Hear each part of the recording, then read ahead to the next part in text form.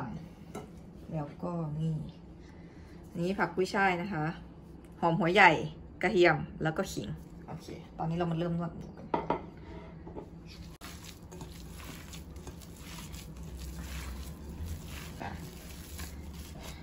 นี่หมูของเราเหนียวได้ที่แล้วนะคะ เดี๋ยวเราจะมาเริ่มปรุงกันเลย ใส่ซอยซอส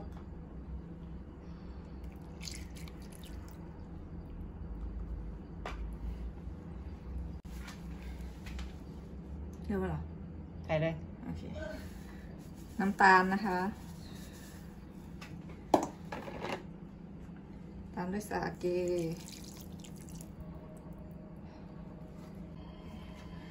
น้ำมันงานะคะ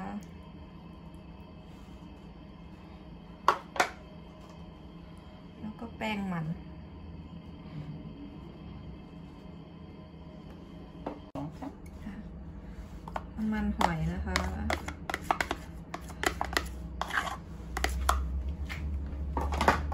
แล้วก็พริกไทย โอเคหน่อยเอาผส มกันนะคะ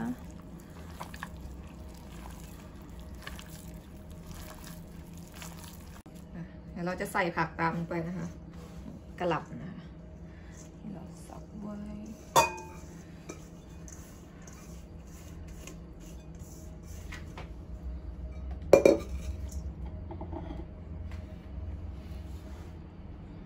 ก็หอมหัวใหญ่นะคะ ขิงกระเทียม แล้วก็ผักกุ้ยช่ายของเราค่ะ ใส่ลงไปเลย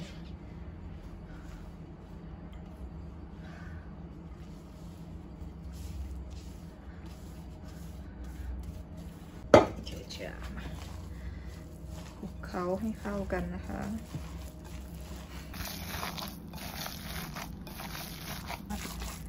ตอนนี้ไส้ของเราก็คลุกเคล้าเรียบร้อย องครับค่ะเสร็จแล้วนะคะ เดี๋ยวเราจะไปทิ้งไว้ในตู้เย็นสักครึ่งชั่วโมงแล้วเดี๋ยวเรามาห่อกัน let's go เย้เราจะมาเริ่มห่อเกี๊ยวกันแล้วนะจ๊ะนี่อันนี้แผ่นเกี๊ยวเป็นวงกลมนะวันนี้ทำได้แค่ 30 อันเพราะซื้อมาแค่อันเดียว แกะไม่ได้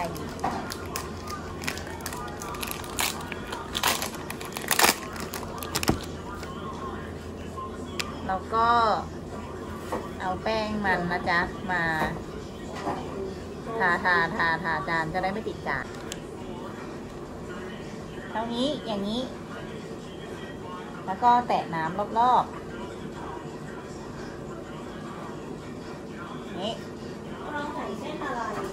ไม่ใส่ไม่ใส่เส้นหรออ่าก็ประกบกัน ปาบ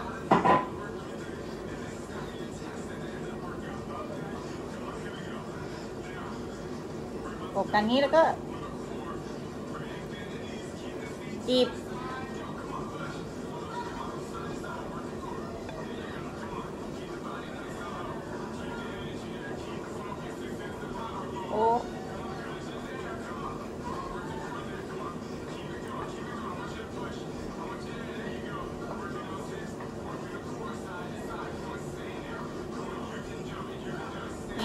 แล้ว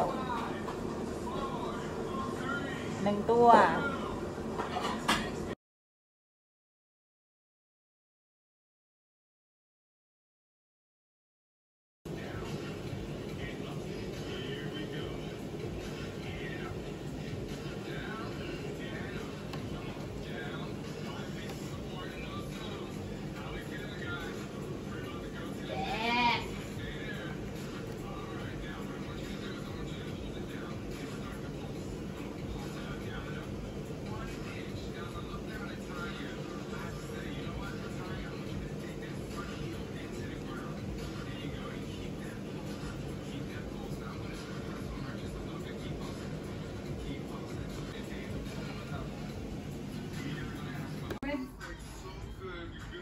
จแล้วจ้า เตรียมลงกระทะ ชิงอย่าตกแตกนะจ้ะเรามาทำซอสจิ้มเกี๊ยวซ่ากันนะคะมีแค่นี้ค่ะ ง่ายมากมีแค่ซีอิ๊วขาวซอยซอสนะคะ กับน้ำส้มสายชูค่ะปกติเราใส่อย่างละครึ่ง แต่ถ้าใครชอบเค็มก็เน้นหนักไปที่ซีอิ๊วขาวนะ ใครชอบเปรี้ยวก็ ใส่วินิก้าเยอะหน่อยนะ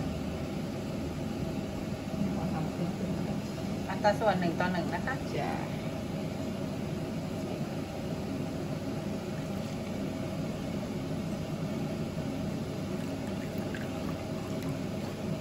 โอเคตอนนี้เราก็ตั้งกระทะนะจ๊ะแล้วก็เรียงไปก่อนก่อนที่กระทะจะร้อน แล้วในระหว่างนั้นก็ ต้มน้ำร้อนไปด้วยจ้ะ เพราะว่าเราต้องใช้น้ำร้อนในการทำให้มันสุกก่อน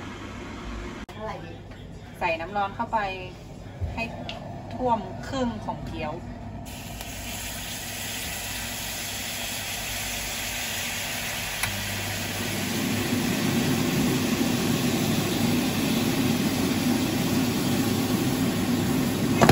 พอ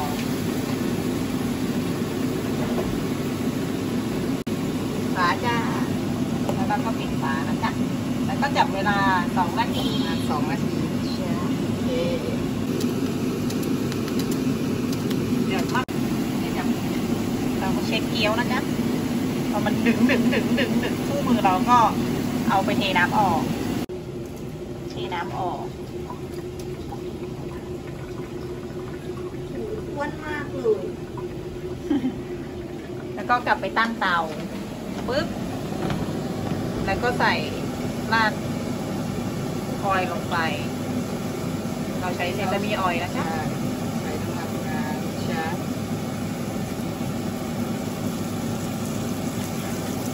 แล้วก็แช่ไว้ต่อประมาณนาทีครึ่งนะจ๊ะ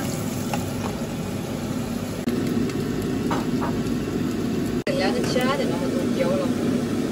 สีสวยอะโอเคสีน้ำตาลก่อน นะวิธีเช็คเกี๊ยวนะคะ ถ้าไม่แน่ใจก็ซ่อมแรงก่อนก็จับซ่อมถ้าข้างในร้อนอุ่นๆก็ถือว่าข้างในสุกแล้วนะโอเคได้เดี๋ยวเราก็น่าจะได้แล้วนะจ๊ะจับเวลาไว้นาทีครึ่งมาใส่ไงดี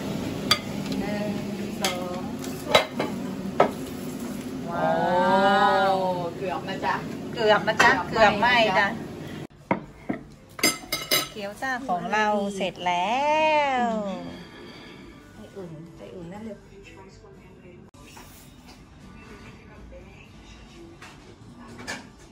สีสันสวยงาม น่ากินจ้า เสร็จแล้วนะครับ เกี๊ยวซ่า เดี๋ยวเรามาลองชิมกันนะครับว่ามันเป็นยังไง โอ้ดูสิครับอ๋อสวยมากนะครับจิ้มน้ำจิ้มนิดนึง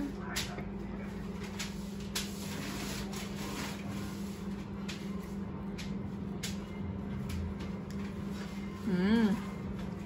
ขอดูไส้หน่อยครับ อร่อย มากเหมือนทานมาให้ฟัง